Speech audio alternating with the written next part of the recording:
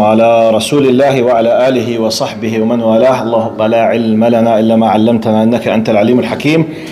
اللهم وتب علينا إنك أنت التواب الرحيم. سبحانك لا نحصي ثناء عليك أنت كما أثنيت على نفسك.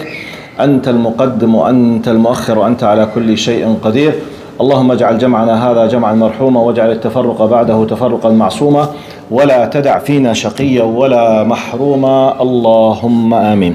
In the name of Allah subhanahu wa ta'ala, the most compassionate, the most merciful, all praise and thanks are due to Him, and peace and blessings be upon His beloved Prophet Muhammad sallallahu alayhi wasallam. He who is guided by the will of Allah, no one can misguide him, and he who is misguided, no one can guide him except Allah subhanahu wa ta'ala. We do bear witness that there is no God but Allah and Muhammad is His messenger. Assalamu alaikum wa rahmatullahi wa barakatuh. Today is session 28.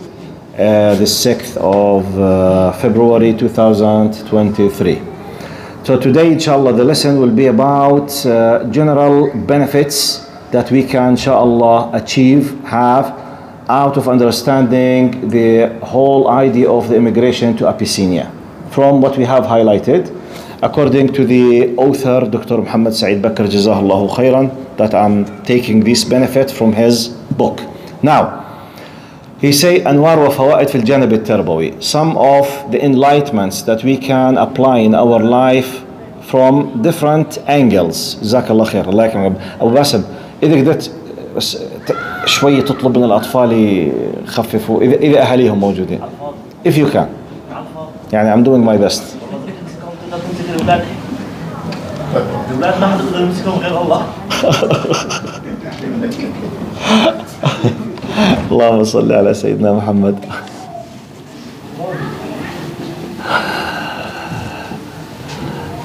طبعا أنا اللي بستغرب منه بثقافتنا إنه ما بتشوف أب وأم ابدا بيحكوا مع ولد وطي صوتك. Never ever you hear a father or a mother tells a child shh respect the masjid. والله it, it, it kills me يعني ما ما. يعني you never خلص. Just feel free do whatever you want لا حول ولا قوة إلا بالله طيب what I was saying I just forgot عبر من دروس الهجرة آه الله يجزيك الخير uh, brother can be جزاك الله خير thank you thank you عبد الرحمن قال one of the first lessons قال تعد الهجرة من أعظم وأقسى أنواع العمل بل هو الاختبار الأعظم الذي يؤكد إيمان الإنسان بفكرته He's saying now the concept of being forced to be an immigrant is one of the biggest tests that puts you under the trial to what degree really, really you believe in what you are calling for.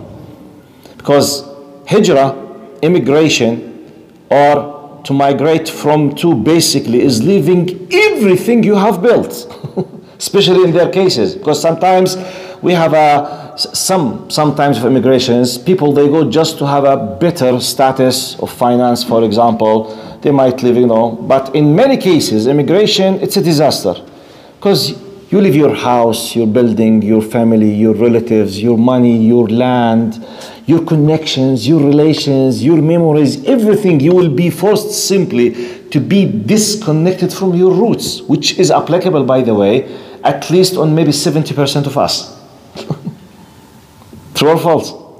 We know what, what they are talking about, even though ours is much, much, much, actually, we can't compare it.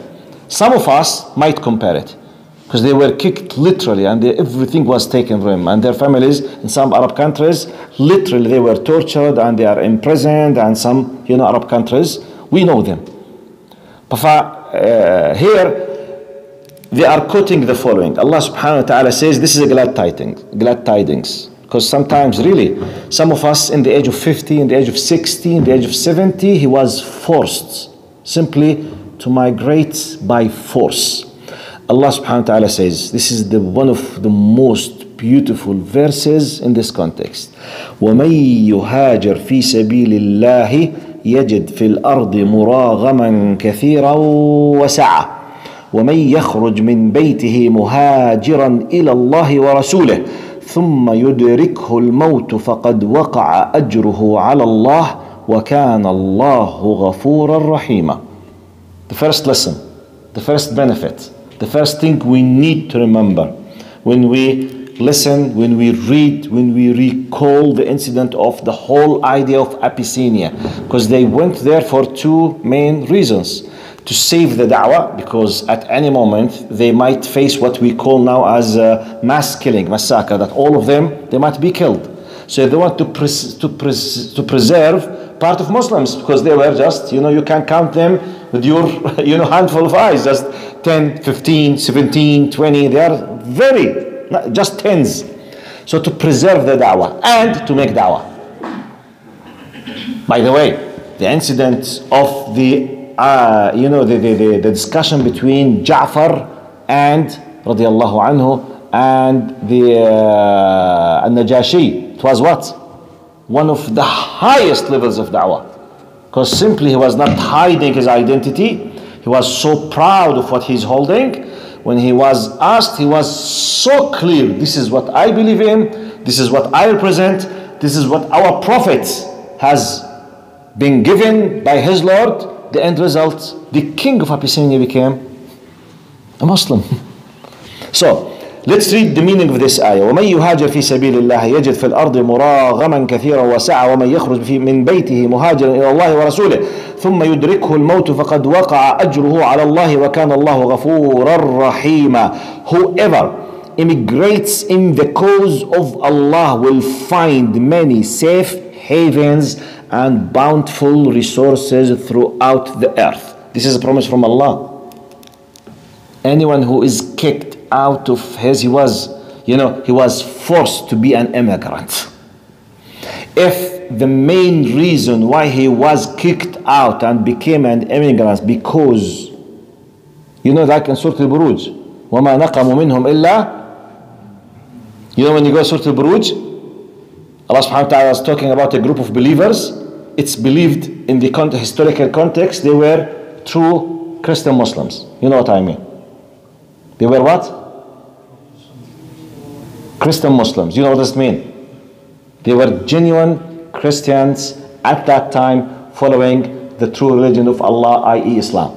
Okay? So they were tortured. They were about to be killed, to be, you know, thrown into the fire by the dictator of that time.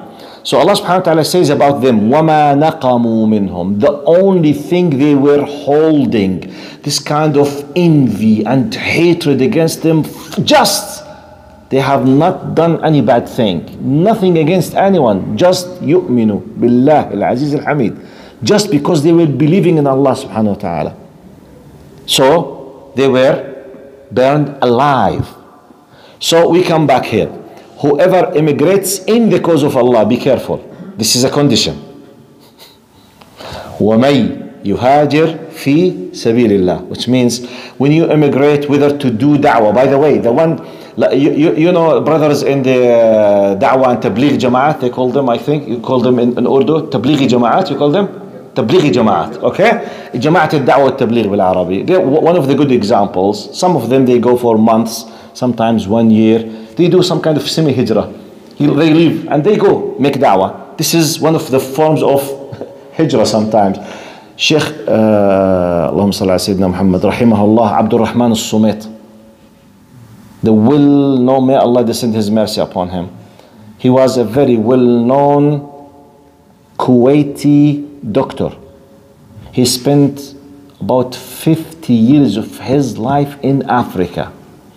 He brought to Islam from Africans between 11 to 15 millions in 50 years.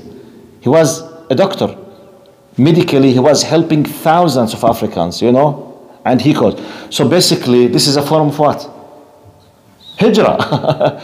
he left all kind of you, you, you know what do you mean by Kuwait the, the journalist life of Kuwaiti people he left all of this behind his back and he went and spent most of his life in Africa helping African brothers and sisters and he brought millions of them to Allah subhanahu wa ta'ala so we have this and we have this and we have those politically who were tortured and forced to go if they were not killed they must have immigrated or otherwise, they would be raped, killed, and tortured. So we have different forms.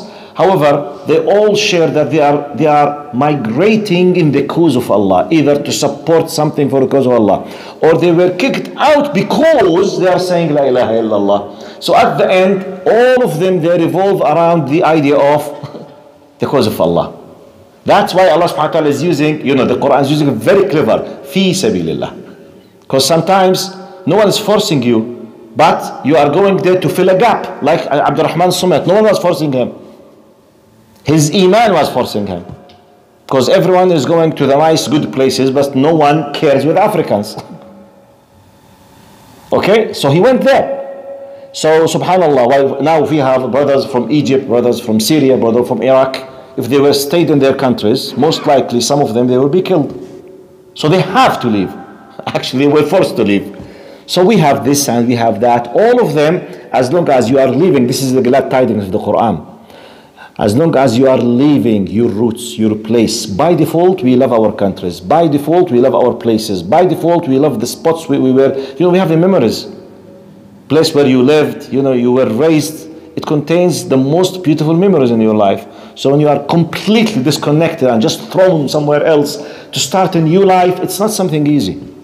And no one knows what we are talking about unless those who are, are experiencing this experience. Anyway, for Allah subhanahu wa ta'ala is giving those people the glad tidings. Whoever immigrates in the cause of Allah will find many, look, Allah is the promiser now, will find many safe havens.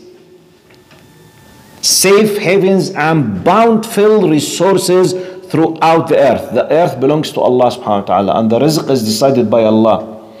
قال those who leave their homes and die. Now another more specific glad tidings.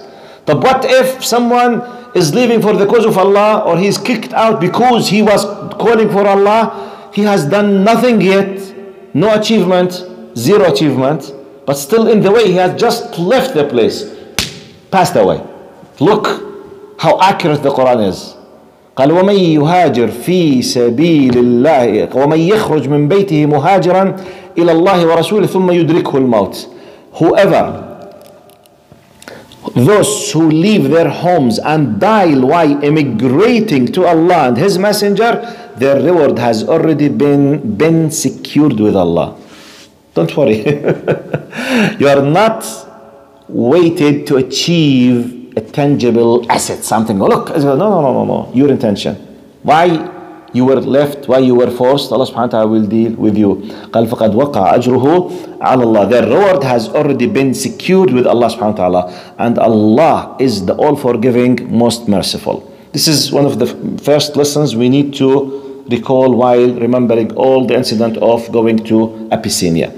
And by the way, when we talk about ثم يدركه الموت فقد وقع أجره على الله.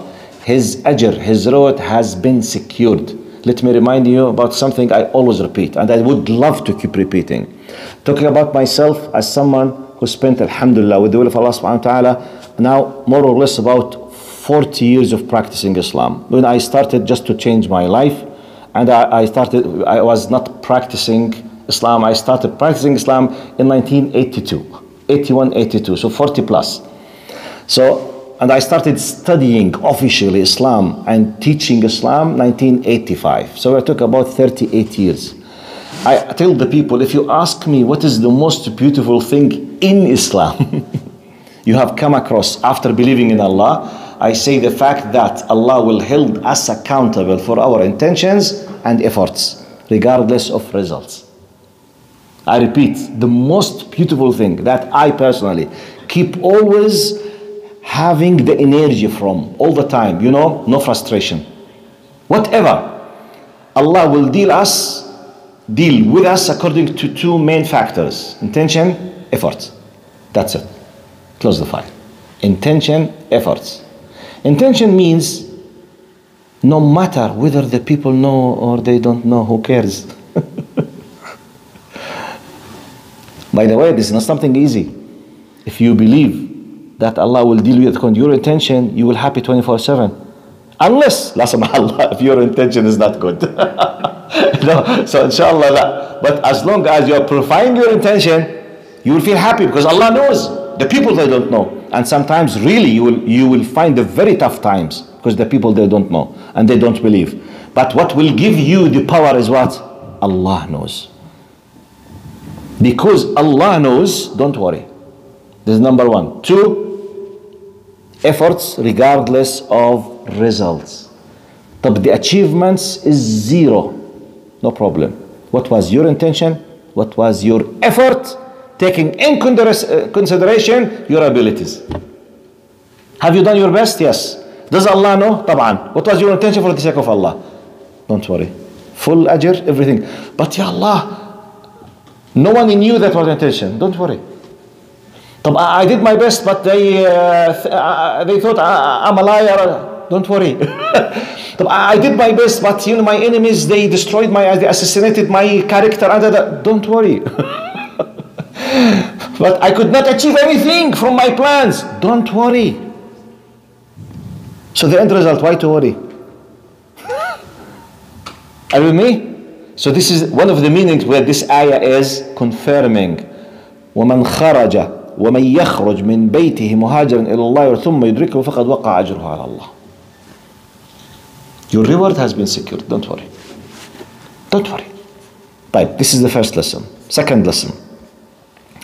Now, the, the, the, the, the, writer says, قال الثبات على القيم وعدم الذوبان في ديار الهجرة واللجوء من أعظم القيم التي يتحلى بها المهاجر ولقد شهد عمرو بن العاص للصحابة الكرام بين يدي النجاشي بهذه الصفة عندما وصفهم بقوله خرجوا من دين آبائهم ولم يدخلوا في دينك أيها النجاشي أي دين النصرانية Now, the other lesson from immigration. One of the greatest characteristics of the true believer to be steadfast on holding your identity, your faith, your religion, and don't feel shy to keep highlighting, talking how proud you are about what you believe in.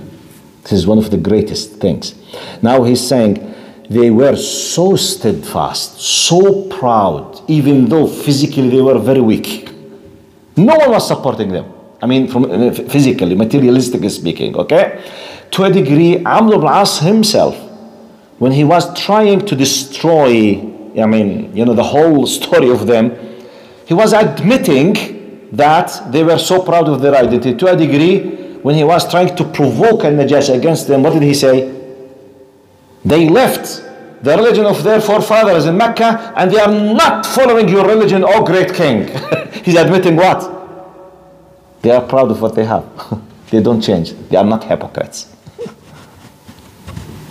So, in light of this, now one of the greatest results of that, Islam with this group was secured, they were preserved, plus the king became a Muslim. And there is a lesson. Please don't mix between the facts between the facts that. Now by the way this specific one is applicable on 99.9% of us True or false? Now we are living in a place according to the Western criteria is one of the best places. Yani if you want to compare Canada, for example, with France in terms of welcoming immigrants, one to 1,000. True or false? In terms of respecting others, even, even America, by the way, in America generally speaking American culture if you are not melted within the put of being an American you will not be accepted easily in Canada generally speaking, one of the great slogans, at least officially supported, they celebrate differences, which means keep your identity, the fact that you are proud of your culture, including your religion, in itself, it's a value. I mean, easily, this is completely, completely unacceptable in France. So, why I'm saying that? Now, Canada is one of the greatest place in terms of welcoming immigrants. Does this mean because they are welcoming me to feel shy not to speak about my values and principles. At any time I meet any nice, good person, simply I close talking about my values because they might not like it. no, we are living in it now. you are living exactly. By the way, it's, it's actually, it was much more difficult at that time because they were in a very, very sensitive, difficult situation. Their enemies, they were provoking the king with the mightiest power at that time. By the way, uh, Negus or Najashi at that time was one of the great kings, very powerful. It's not any uh, marginal one. One of the great kings and the Christian Abyssinia at that time, it's yani, more or less in that time, like now, for example, when you speak about great powers, when you speak about America, Russia, France, you know, for example, the, the UK, it's something similar to that at that time. It's not. So when you are there under the power, speaking with the king himself, and your enemies have the big power financially and they have given the bribe to all the archbishops and bishops which means the media all the media is against you can you imagine yourself? Try, try to, to apply it in our context now. you believe in something, you have not done anything wrong, okay? But everyone is using the power against you. The only thing that you hold is the truth. And your faith in this truth and your readiness to keep talking steadfast about this truth. But everything else is against you. It's not easy. It's not easy. We can understand this when we look to the political context. Many people, because they have said something they believed in a few years ago, when they want to go to the elections, so we say, you should answer, say, oh, I'm sorry, I'm sorry, I did not mean it, I'm sorry, I'm sorry. They change, they already, because they can't stand attacking the people, even though they believe in what they have said, and they know that what they have said is true. But because of the pressure, because of the attack, because of the character assassination, because of they change and they apologize. Is this true or not now? Yes. At that time, when they were pushed into the corner, Negus came, what do you say about Jesus Christ? He said, we say what Allah subhanahu wa ta'ala and his Rasul taught us. Abdullah wa Rasuluh. وكلمته ألقاها إلى مريم وروح منه He was created by Allah. He is the slave and the servant of Allah subhanahu wa ta'ala and the messenger of Allah subhanahu wa ta'ala. He himself and his highly respected mother alayhi salam. Period. Now, put yourself in the place of Ja'far. Now you are waiting everything to be exploded in your face now. Subhanallah. Here comes now the will of Allah subhanahu wa ta'ala. قال والله what you have said is not far any step from what I believe in. So, you know, it was one of the biggest, you know, subhanAllah, surprise at that time. But the idea, don't feel shy, speak about the truth. This does not mean to be tough. Don't mix. Be polite, be wise, don't hide your principles. And by the way, this tells us about how much we might be falling in short by not telling others about us. Why, why do you, for example, you live since a full year, you have a non Muslim neighbor. Why you waited 12 years out of a sudden, just out of a sudden, their kids came for the Halloween? But you know, Halloween, it has a big issue for us. It's a, it has a satanic roots, okay? It has something has to do with something against our faith. So we don't celebrate it. Okay, we, we don't attack others, but we don't celebrate it. Why, why not to prepare for these things? Why not to invite your neighbors? Why not to speak with them? Why not to let them have that you have your restrictions? You don't mind at all to, to, to love all kind of khair for them. You will be happy for them for their weddings, for whatever, graduations, for example, giving birth. You, you, you share nice food with them, some sweets, even when you share food. When you give a food, oh, thank you. When we do some, okay, but excuse me, you know, I really will be very happy to have any kind, but we don't eat pork, for example, and we don't eat. In case if you want really to do something, I can't, for example, eat pork. I can't eat lard. I can't have any kind of sweets mixed with champagne because sometimes you know the best chocolate in the world is mixed with cognac and champagne as if I'm an expert. I don't know what is cognac and champagne, but this is what they say, okay? Because sometimes I say, Sheikh, how did you know? I was reading what they say. How did I know? okay. because it happened with me like. It happened with me maybe twice. Once, yani, uh, a very dear uh, guest to, to, to my heart came to visit me. He was coming, I think, from Germany or France, I forget. So he wanted to really, really, yani, to honor me. He brought me a very expensive chocolate. Once he left, I just read behind the kada, it contains champagne. I said, La hawla wa la quwwata illa billah. And I, I love chocolate. Is there a fatwa? Subhanallah. Anyway, but I mean, I mean, no problem. Let them know they respect you. They will respect because everyone has his own cultural restrictions, beliefs, something. It's not something, but you yourself be proud of what you have. Don't feel shy. Let them know you. By this, the khair will spread. And this is a big lesson from that time. They did not feel shy, they did not hide their faith.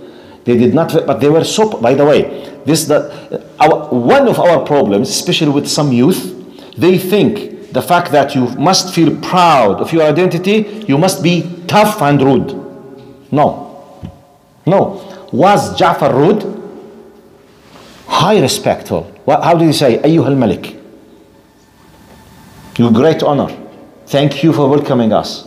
Thank you for allowing us to stay with you. He was respecting him. He was speaking him with all kinds of titles. As long as he's not using a word which goes against our faith, no problem.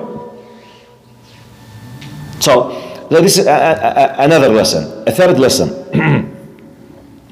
اللهم صل على سيدنا محمد. قال الموضوعية التي كان يتحلى بها النجاشي هي التي ساقته للعدل ثم للإسلام فهو لم يحكم حتى سمع من الطرفين ثم انحاز للغة العقل والمنطق لا للغة الإغراء والإغواء They say look let's take a lesson Negos he was a very objective person He was just an objective and just person He was you know using his intellectual power with high ethics so he listened he reflected upon, he discovered, he took a decision. What is this? What, what is the lesson? Don't lose hope. Always you will find good, genuine people who are seeking the truth. but you keep broadcasting. By the way, your device must keep broadcasting. You never know when the signal will be accepted by any device. you must keep what? Broadcasting. No, no, no, no, no, no, no. All the time. All the time. Out of a sudden, this one. What? When? How? Ashhadu an la ilaha illallah. Don't wait him to come to you because you think you are right without you. What? Telling, speaking, conveying, sending, discussing. The good word that we can use, broadcasting. Your, broad, your broadcast must be 24 7 on. now, depending on your sincerity, inshallah, your intention, Allah will send to you the, uh, let's say, the devices who has accepted your broadcast. depending on the quality, the, uh, you know, the receivers. You are the, you broadcast, we have receivers. صح? They, some people all the time they are doing to what? Tune in. They are tuning. This is shh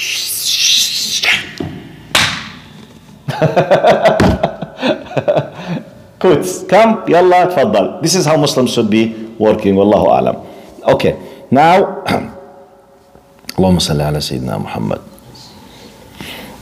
The, okay, sorry, I finished my my points. Now I will conclude and finish inshallah today's because next time, if Allah subhanahu wa ta'ala will, uh, I will start the story of At-Ta'if. It's another amazing, amazing incident that happened with Prophet Muhammad. He decided to go to visit the city of At-Ta'if. A great incident happened with him when he was there and the reaction, and there is a huge lessons in that. However, now the conclusion. Now, by today's session, we finished the whole package of immigration to Abyssinia. First one, second one, what happens between the meeting, the narration of Umm Salama radiallahu anha, the whole great benefits. Now, in about five minutes, can I listen at least to two, one brother, one sister? What was one of the great lessons you benefited from this story? Great lessons that affected you, influenced you. You think really it had an impact in your life through listening to three or four or five sessions. I forgot how many one. I think yes, brother. Can speak loudly as much as you can. I learned like uh, never lie about your faith. You should be proud. of Whatever is obstacles, whatever you're facing, Should be proud of your faith regardless of obstacles. Jazakallah khair. Thank you. What else? Those who were with us. Just you know, I mean, I mean, this is one of the educational ways just how to fix concepts in your mind, how to refresh your memory and to fix it. Yes, brother uh, Yahya. that you mentioned a couple of times now and before, uh, Allah will um, give us ajr based on our, our niyyah. Yeah. So not, maybe I didn't uh, achieve something, or maybe I didn't complete the Hmm. whole Quran, or an action I'm doing, Yeah. but Allah, inshallah, will give us a ajr based on that I had the intention to actually complete it, or do, to do something. The great relation between intention and the reward. Not necessary. By the way, this does not mean don't seek the achievements. I mean, if you have done your best, for whatever reason, Allah did not well. no achievement. The core point, intention, and efforts, ajr is guaranteed by the Mawla Azza wa Jal. Full peace of mind, full energy, full motivation, regardless. When you connect this with being proud of your identity, yes, yes, brother. It connects perfectly in the story.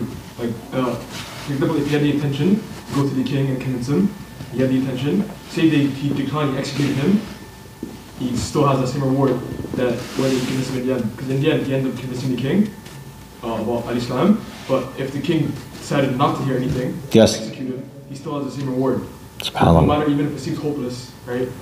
Uh, the reward is still certain. So, so, so you are talking about basically the power of the intention when they were uh, standing before the king. Ah, Jazakallah khair. Barakallah. Thank you very much. Jazakallah khair. Thank you. What else? Listen, sisters, brothers. Because for me, I finished today's session, inshallah, and I will say goodbye for you. And listen, if you have to add something. Any uh, other? Type. Jazakumullah khair. May Allah subhanahu wa ta'ala accept all of our deeds, inshallah, from you and from all of us. Jazakumullah khair see you next time there is a possibility a possibility I might not be giving uh, next week's session so please in case if you are coming from a يعني far place keep an eye on the uh, group okay there's a possibility about 70% I might not be giving next session inshallah جزاكم الله خير السلام عليكم ورحمة الله وبركاته